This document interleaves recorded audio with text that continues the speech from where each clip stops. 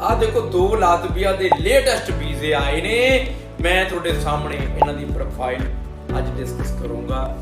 ਤੇ ਸਭ ਤੋਂ ਪਹਿਲਾਂ ਤਾਂ ਜੇ ਤੁਸੀਂ ਸਾਡੇ ਚੈਨਲ ਨੂੰ ਸਬਸਕ੍ਰਾਈਬ ਨਹੀਂ ਕੀਤਾ ਹੋਇਆ ਤੇ ਜੇ ਵੀਜ਼ੇ ਨਹੀਂ ਹਜੇ ਤੱਕ ਤੁਸੀਂ ਵੀ ਲਏ, ਇਸੇ ਤਰ੍ਹਾਂ ਤੁਸੀਂ ਵੀ ਆਪਣੇ ਵੀਜ਼ੇ ਲੈ ਸਕਦੇ ਹੋ। ਐਂਡ ਇਸ ਦੇ ਨਾਲ ਨਾਲ ਮੇਰੇ ਦਿੱਤੇ ਹੋਏ ਨੰਬਰ ਉੱਪਰ ਮੈਨੂੰ ਕਾਲ ਕਰ ਸਕਦੇ ਹੋ। ਇਹ ਦੋਨੇ ਲਾਤਵੀਆ ਦੇ ਲੇਟੈਸਟ ਵੀਜ਼ੇ ਆ।